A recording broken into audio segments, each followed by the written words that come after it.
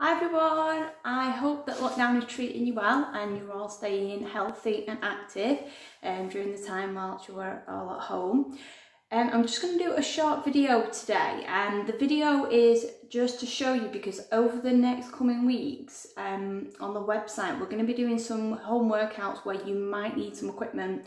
So you might need some weights, you might need a barbell, you might need some dumbbells but we understand that everybody might not have that at home, so it's just so we, we can show some improvisations of what you can use for the workouts if you don't have weights and barbells at home. Um, so just using anything that you have in the house um, and, and improvise with it. So I've got a few things set up already that I'm just going to show you Obviously, if you've got other stuff as well, you know, that you, you think you can use, absolutely go ahead with that. This is just kind of a few ideas that we have um, that we can kind of help you with. So, first thing I've got is obviously your basic tins of beans or soup or whatever you've got. So, using the tins, you can use them for bicep curls, you can use them for overhead pressing, anything at all that you want to use them for. Now, obviously they might not be as heavy as what you would want for some workouts. So if you want to make it a bit heavier, grab yourself a bag for life, nice strong bag, pop some tins in there, stack it up with a few extras.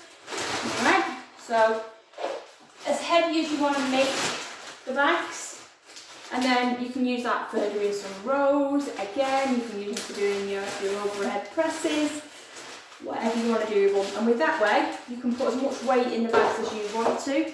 Obviously make sure that the bag is strong and it's not got any rips in it.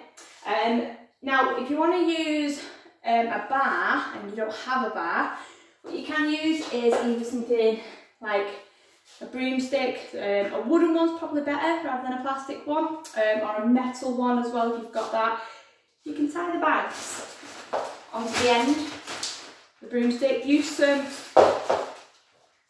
masking tape to tie it on so it's nice and secure so the bags are not going to come off and make sure that is equal on each side as well. So you can tie the bags on and you've got that to use as a bar to do deadlifts, to do clean and presses, to do whatever you want with, with the exercises that you might see in the workouts over the coming weeks. Also, improvise with things like big bottles of water if you've got them, fill them up.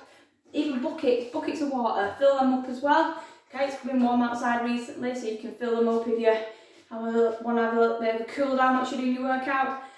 Use the, the buckets or the, the bottles to do your squats, to do your squat presses, anything like that. Another good one is your parasol base. You're probably wondering why this is in the kitchen. I brought it in from outside. So your parasol base. You your parasol stick, okay? That is a strong metal stick so you can put weights on either side of it. Use that for your squatting, use that for your pressing, whatever you want to do. Again, put the bags on there with some with some tins in, masking tape it on so it's nice and strong. And also, your parasol base should be weighted, should be quite heavy. So you can use this for doing some squats or deadlifts, whatever you want to do with the parasol base, you can use it for that. It's quite a heavy one, so it is a really good one for that. So those are just a few of my ideas um, that I would use for weights if you don't have a barbell or you don't have any dumbbells or anything at home. Um, so that's just a bit of improvisation that you can use. Um, so look out for the workouts that are going to be coming on over the coming weeks where you might need some some weights for it, um, some dumbbells or some um, barbells. So find something in your house that you can use, improvise with it, make sure it is safe, um, so make sure that nothing is going to fall off and injure yourself or drop on your foot or anything like that, so do make sure it is safe and secure. Um, I hope that was useful for you. I hope you enjoyed it. I hope you're all staying safe um, and staying at home. So um, I look forward to um, hearing about any of your workouts on Facebook. Thanks very much, guys. Take care. Bye.